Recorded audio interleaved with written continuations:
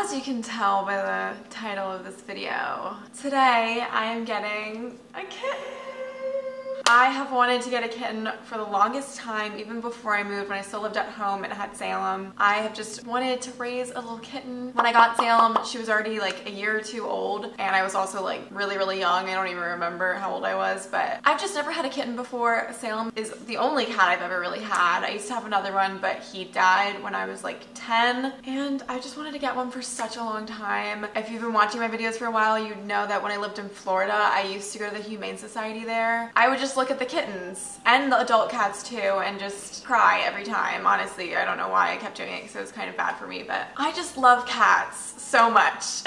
cats make me genuinely happy. They are my favorite animal, obviously. I'm a cat person. And ever since I moved about two months ago, I have just really been missing living with a cat. Obviously, I couldn't bring Salem because she was too old and she would have just hated being taken out of her home. I go home as much as I can, at least a few times a week and just like lay with her and spend time with her, which I'm still gonna do obviously. But not being able to live with her has been the hardest part of moving for me. So I made the decision to get a kitten. I wanted to wait at least a few months after I moved before I decided to get a kitten and it's been about two months and I want one really badly. A week ago I made an appointment to go to the Humane Society and look at their kittens. Obviously with the pandemic you can't just like walk in so you have to make an appointment and they've been busy so I had to wait a whole week and it's been the longest week of my life. I had a nightmare last night that I woke up at 5 p.m. and my appointment's at 2 p.m. so I overslept, lost my opportunity and started freaking out and crying. It's literally all I've been able to think about. I'm just hoping I get her today. I already have a name picked out which I know is kind of weird because I haven't even seen her. I don't even know what like she's gonna end up looking like because I don't have like a preference. I just want her to love me. I don't know why I feel nervous. I will see you guys when I am on my way to the Humane Society. Okay guys, I'm at the Humane Society. I don't know why I'm so nervous, but there's a man standing right outside of my car and I'm scared he can hear me. Anyways, um, yeah, I'm gonna go in and see if they have a kitty for me. It's time. It's time to do it. Let's do this. Fuck.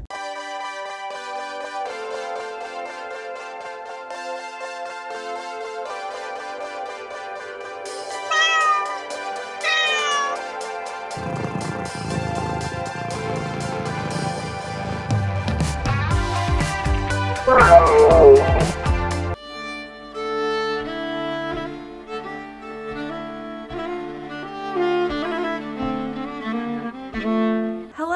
it is much later. It is now 6.43. I was a little overwhelmed when I got out of the shelter because they only had two girl kittens. One of them was very shy, so cute and pretty. I just didn't feel like a connection with her. And then the other one was so sweet and so cute and she was a tortoise shell kitten, which is like the ones that have black and orange fur mixed. And I think they're so unique looking and so cute. I ended up really liking that one. I don't remember what her name was, but it doesn't matter because I'm changing it. There was already another woman who had an application in for her, but they ended up calling me and telling me that she backed out or whatever, so the kitten is mine. That cat just had like such good energy. I only met it for like 10 minutes, but it was rubbing its little nose on my hand and she kept looking into my eyes and like I literally walked over to her cage and she saw me and like perked up and I was like, um, I'm in love with you. So I think I'm gonna get her, which means I have to wait until Monday of next week and it's Wednesday, so more waiting, but it's fine. I am very excited and yeah, I don't know, this is kind of crazy. I feel like I'm adopting a child. What do you think, Sally? What do you think?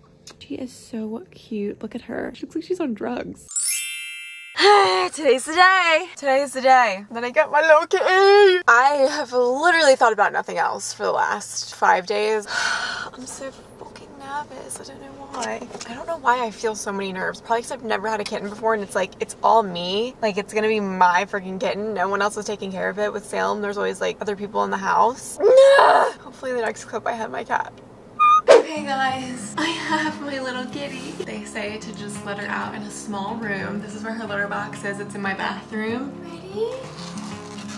Oh my god, I'm going to cry. Hi kitty.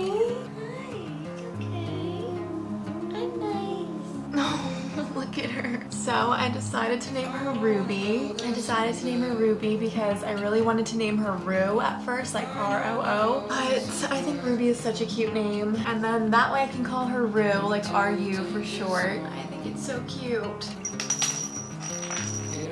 cute. She looks like a little skunk. I set myself aside oh, the way on this trial. If you don't know the way, we can and make a change. I know we walk for days, losing hope, fading love. Well, guys, I started crying. She's just so cute and I love animals. They make me emotional, okay? I also started playing Hozier and he always makes me cry, so. or he makes me want to take my clothes off. It's one or the other and today he's making me cry. Stop, that's my leg. That's not a toy.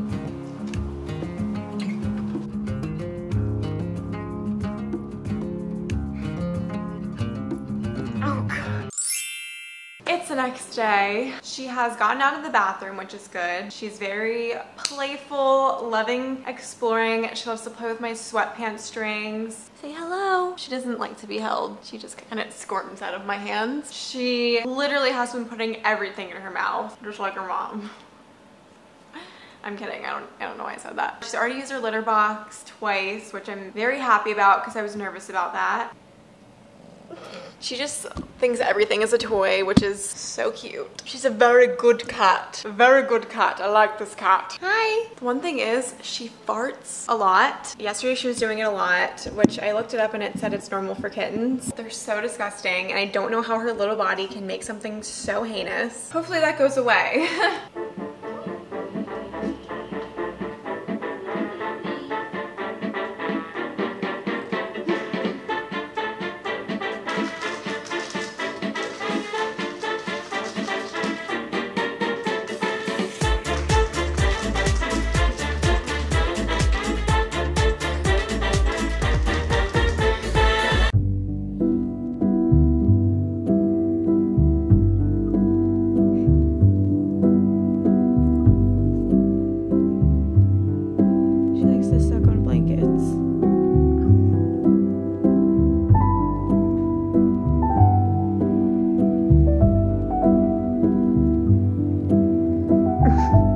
Um, I watched the Taylor Swift documentary and she put her cat in a cat backpack, so I got one. Ruby seems to like it. Ruby, pop your head up.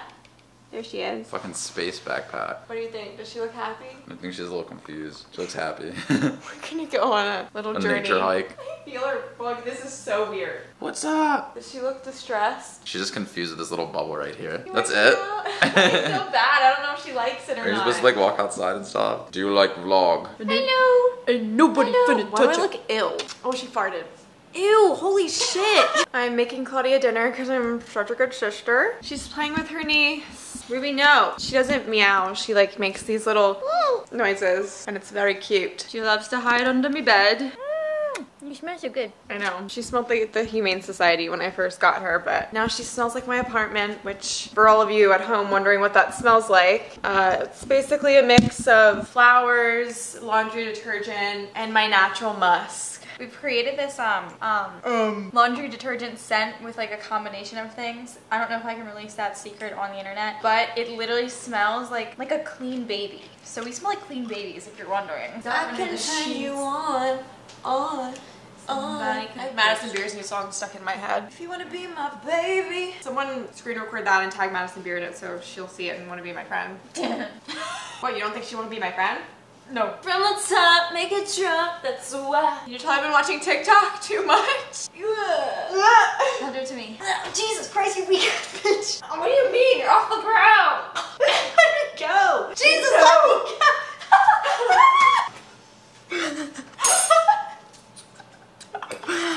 I love I love you. Olive juice. I read this fan fiction when I was younger where the girl had so much emotional trauma and when she fell in love with Harry Styles, she couldn't say I love you, so she would say olive juice.